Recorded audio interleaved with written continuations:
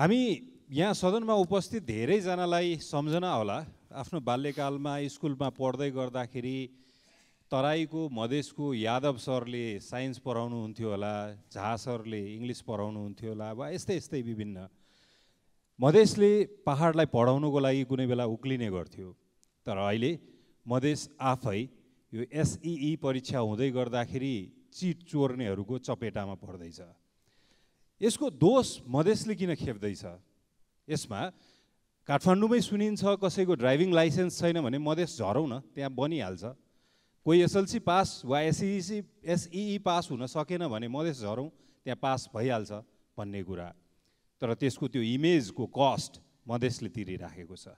त्यो हामीले किन तिर्ने? किनकि यहीँबाट खटाइएको सिडिओ एसपी निरीक्षक सबै अधिकारीहरूले त्यो छुट दिइराखेको छ तर त्यसको मूल्य मधेसले तिरिराखेको छ।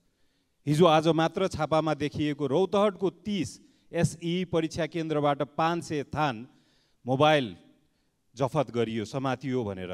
बाह्रमा एसइको परीक्षामा नक्कली पर्यवेक्षक भनेर चिट चोर्न पुगे भनेर। सिरहाको एसइसी एसइई नेपाली विषयको परि प्रश्नपत्र नै बाहिरियो भनेर। एकजना त महोत्तरीको चोरीमा एक बोरा चिट समातियो भनेर। अर्को कुरा आफ्नै तर्फबाट एसइई परीक्षा दिन नक्कली परीक्षार्थी पठाउने मेयर विरुद्ध पक्राउ पूर्जी जारी भयो भनेर। यस्तो यस्तो समाचार सुन्नमा आइन्छ। तर यसको दोष हामी मधेसी होइनौँ। यसको दोष यहाँ केन्द्रबाट खटाइने सिडिओ एसपी र अरू अधिकारीहरू हुन्।